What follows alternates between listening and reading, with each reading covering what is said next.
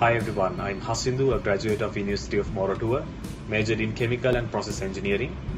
Today I'm going to share with you three tips that will help you do better in the upcoming three to four months. Things that I personally believe that will be very effective to the way you work. Number one, keep a balance. You have to give an equal balanced effort and attention to all three subjects that you might be doing maybe chemistry, physics, accounting, biology, you have to admit that you need to sit for all three subjects and do all really well in all three. So give a equal balanced effort. Make sure that you don't miss on anything. Number two, plan for what you do in the last minute.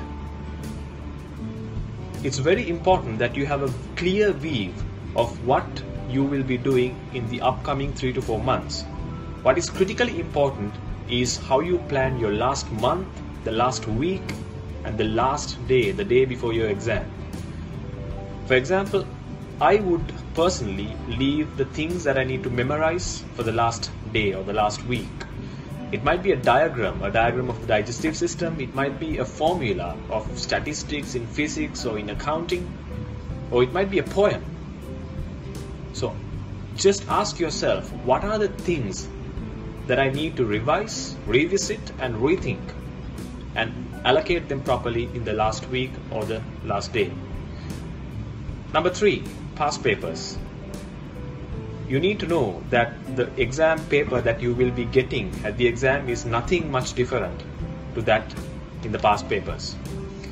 So redo all the past papers. So when you some past papers you might have done previously, just redo them. That will help you improve with your compliance to the marking scheme, with your understanding of how marks are allocated in the marking scheme, and also it will help you structure your answer the way you approach a question. So, just to give you a quick recap number one, keep a balance. Number two, know what you will be doing in the last, last day. Number three, practice past papers. Wish you all the best, you can do it.